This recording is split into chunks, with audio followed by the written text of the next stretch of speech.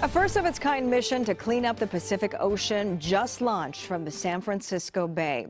If it works as designed, it could help clean up trillions of tons of plastic. New tonight, Katie Nielsen has more on the system headed out to a massive island of trash in the Pacific Ocean.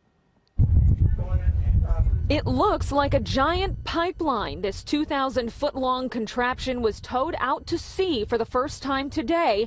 And in five to six weeks, it will make it to the Great Pacific Garbage Patch. It's halfway between here and Hawaii, uh, and it contains about 1.8 trillion pieces of plastic. The massive floating island of trash is 600,000 square miles, which is twice the size of Texas.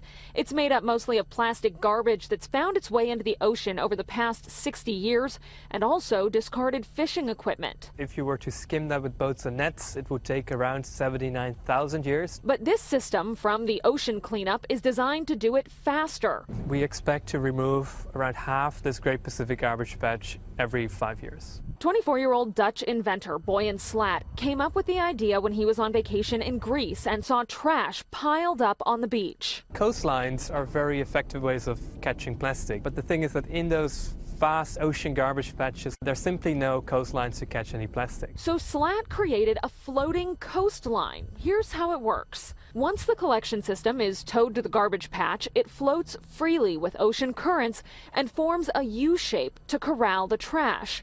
A skirt about 10 feet deep will catch the plastic, and a ship will then collect it and bring it back to San Francisco to be recycled. It's very much an idea worth testing.